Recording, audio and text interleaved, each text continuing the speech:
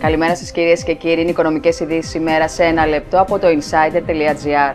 Επιστολή από τον Υπουργό Οικονομικών Ευκλήδη Τσακαλώτο που θα περιλαμβάνει ειδικές δεσμεύσεις έναντι των πιστωτών τέθηκε ως προπόθεση για να ξεπαγώσει η εφαρμογή των βραχυπρόθεσμων μέτρων για την ελάφρυνση του χρέους στο χθεσινό Euro Working Group. Παρά τη ρήτρα των ισοδύναμων μέτρων σε περίπτωση δημοσιονομικής απόκλησης για το 2016 λόγω των έκτακτων παροχών, καθώς και τη ρητή δέσμευση πως δεν θα υπάρξουν άλλοι δημοσιονομικοί ευνηδιασμοί στο μέλλον, το θέμα της ελάφρυνσης βρίσκεται ακόμα στον αέρα. Σήμερα το βράδυ θα πιστωθεί το ειδικό αφορολόγητο και ακατάσχετο εφάπαξ βοήθημα γνωστό και ως 13η σύνταξη σε όσους συνταξίχου το σύνολο των αποδοχών τους δεν ξεπερνά τα 850 ευρώ. Την ίδια στιγμή, βέβαια, 260.000 χαμηλοσυνταξιούχοι θα δουν το ΕΚΑΣ στους λογαριασμούς τους μειωμένο κατά 50%.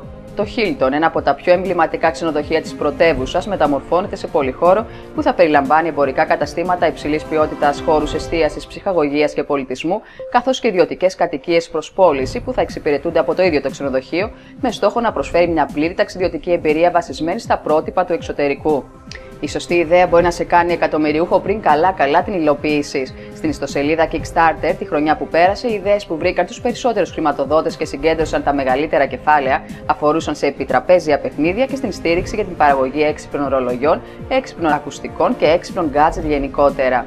Ανωδικά κινείται η χρηματιστηριακή αγορά στο σημερινό άνοιγμα της συνεδρίασης με τον γενικό δείκτη τιμών να κυμαίνει σε 636,58 μονάδες, καταγράφοντας κέρδη 1,32%. Σε άνοδο και τα ευρωπαϊκά χρηματιστήρια. Με περισσότερες ειδήσεις στο insider.gr.